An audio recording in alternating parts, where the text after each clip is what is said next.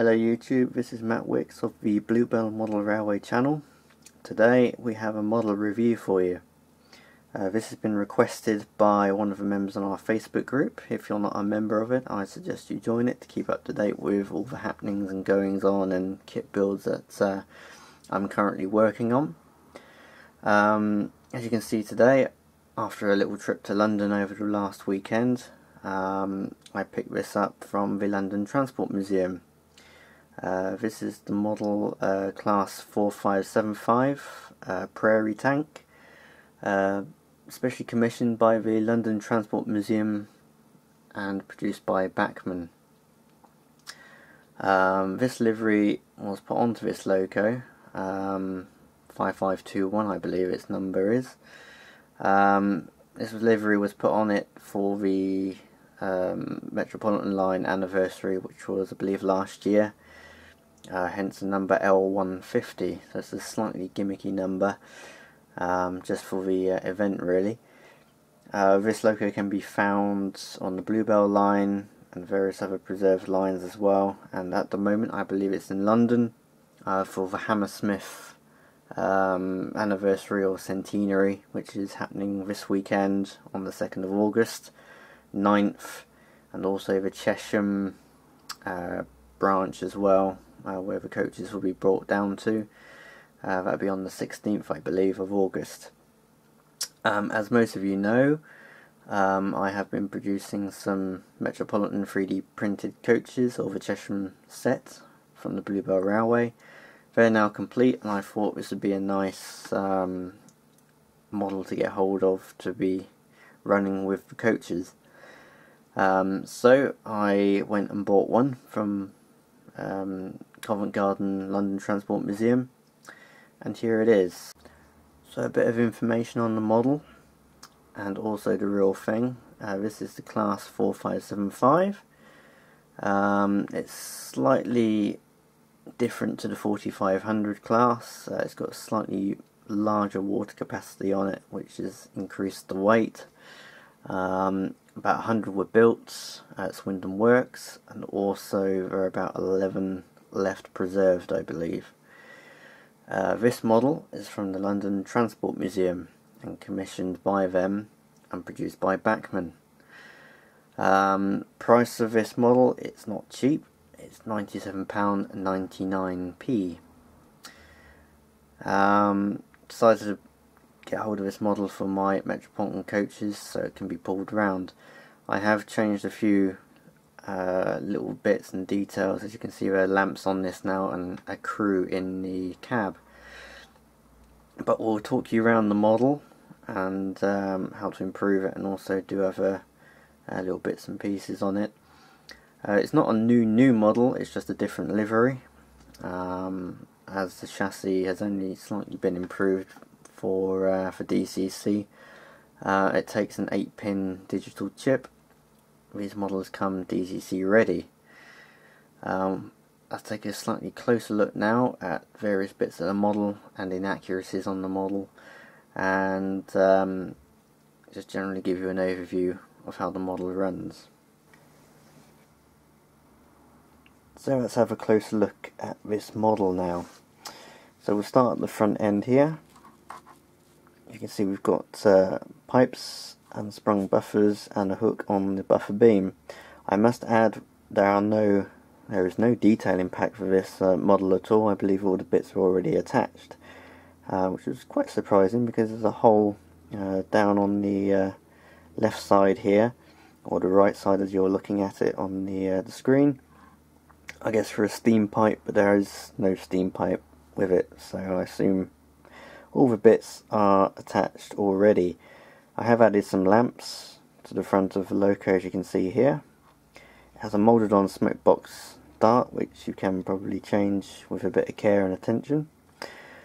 Uh, you can see as well there is no um, air pump or brake uh, cylinder on the right hand side or a Westinghouse brake pump.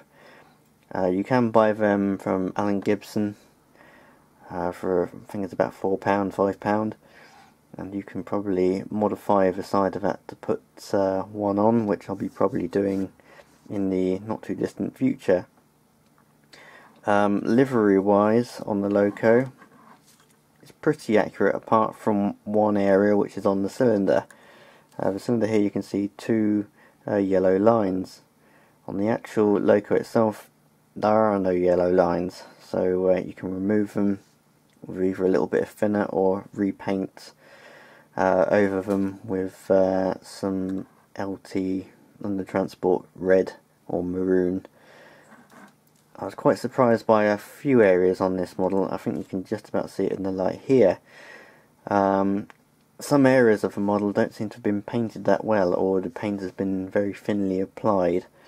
You can see on the uh, the firebox here, top of the firebox down the side, you can just about see the black uh, plastic underneath and also behind the filler caps here if I zoom in a little bit uh, you can probably see a little bit clearer. You can see it's got a dark black haze to it. So they haven't really applied much paint to these areas. In fact if you look behind the uh, boiler bands you can probably see still the black paint on them. Move down to the filler cap there. Also behind uh, the filler cap you can see there's still black plastic um, which has been unpainted so very thinly applied.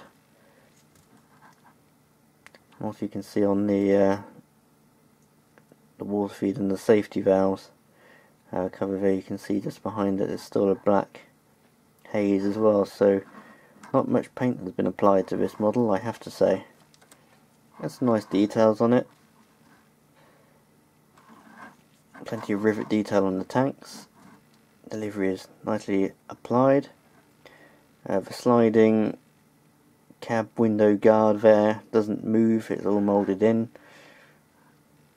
So if you think it looks a little bit weird why the lining just stops there and continues there, that is why, because it goes behind it.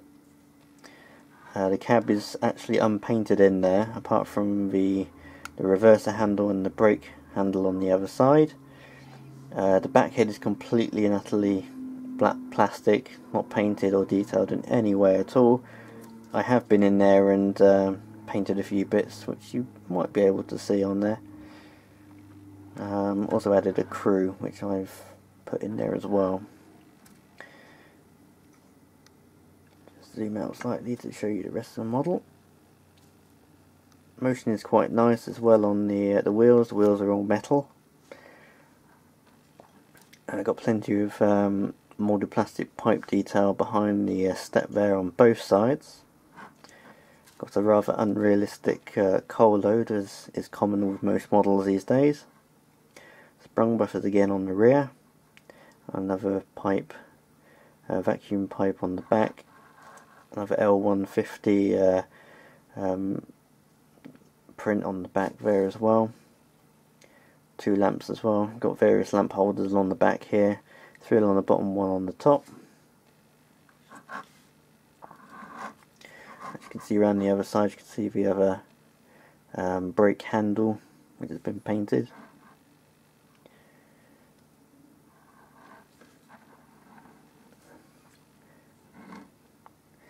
And generally it's a nice model.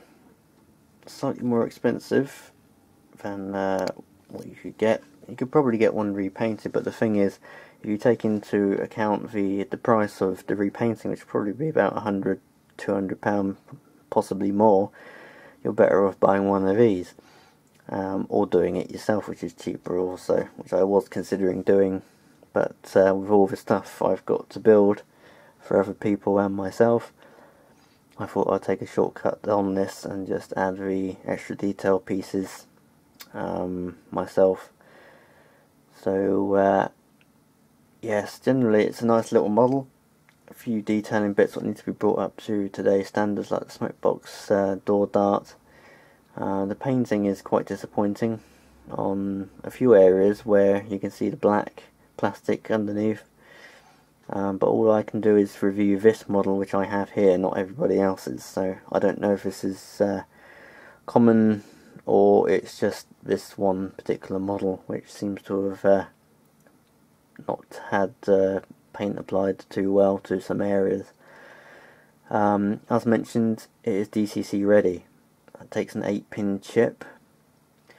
um, and you can get into the loco quite easily if I show you now on the camera at either end you can see there's a screw just there just underneath the pony truck and the coupling. There's a screw there. There's also a screw at the front which you can just about see there.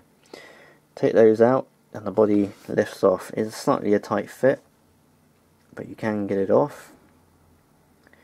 Uh, then there's another screw underneath the cab.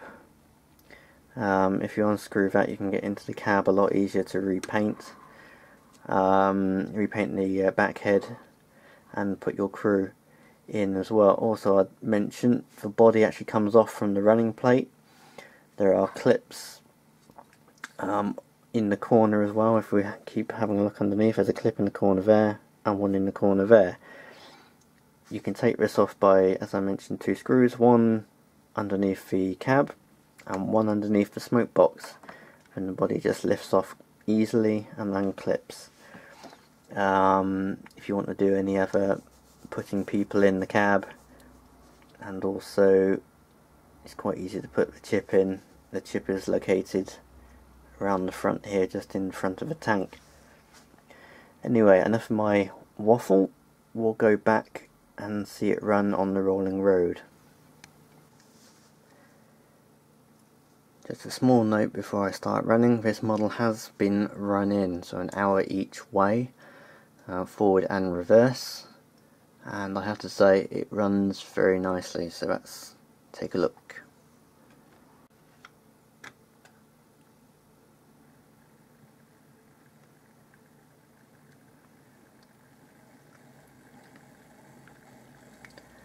Just worth a note, I am using just a standard small Hornby controller. As you can see it runs very nicely at slow speed. Very quiet, very smooth. The loco is quite a heavy loco for its size. It pulls quite well. And runs quite well over Insulfrog point work, which is what I use on my layout code 100. I'll just speed it up a touch.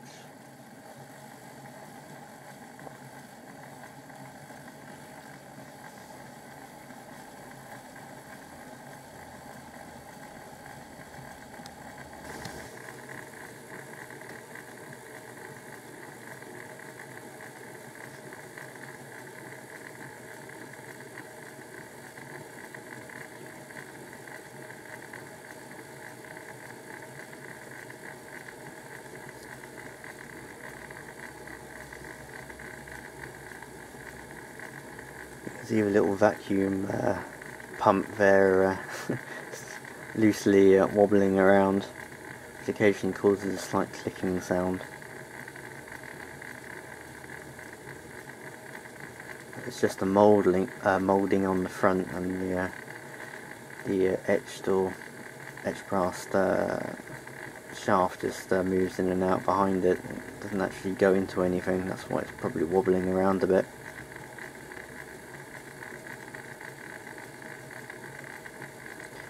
As you can see it runs quite nicely we'll slow it down and put it in forward.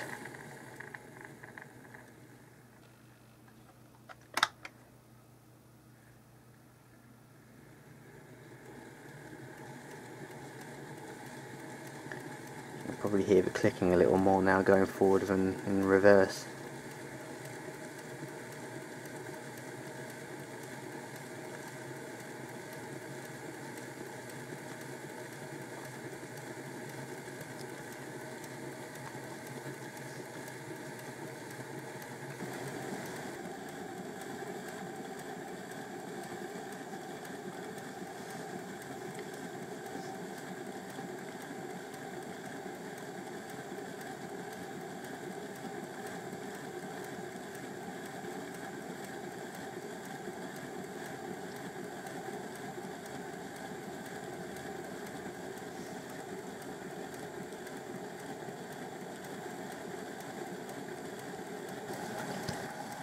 So that brings us to the end of the running and uh, general description of the model.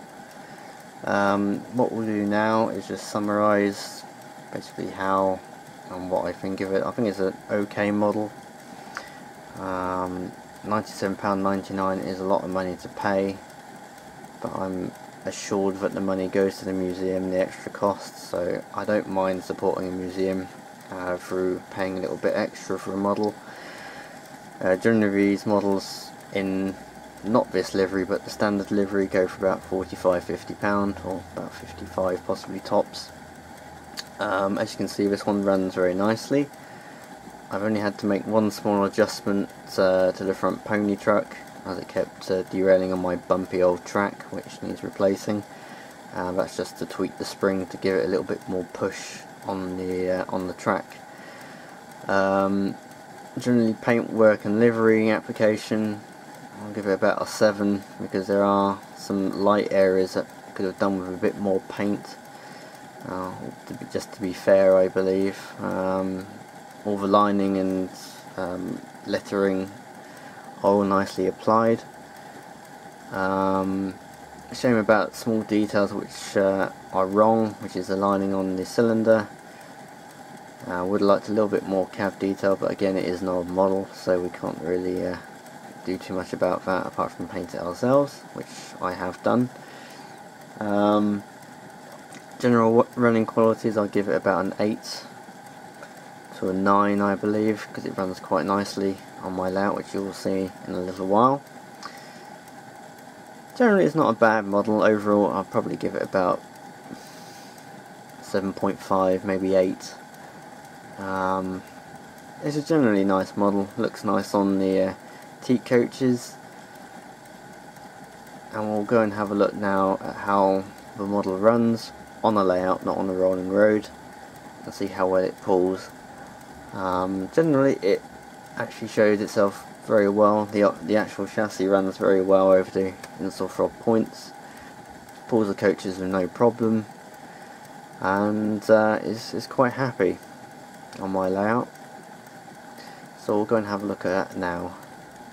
Hope you enjoyed the video and uh, any questions or comments please post them below and I'll get back to you as soon as I possibly can. Uh, I have done this review in an honest way as I see it on this model. I can't comment on everybody else's but this is what I found or found with this model and uh, these are my honest opinion on this model as as uh, everyone else didn't really like some of the things I said about the Duke of Gloucester review, but hey, that's what I felt at the time. And it's nice to see Hornby have gone back on some of the uh, clever design principles and gone back to some um, better uh, models, but we'll see when they come out. Anyway, let's take it to the layout.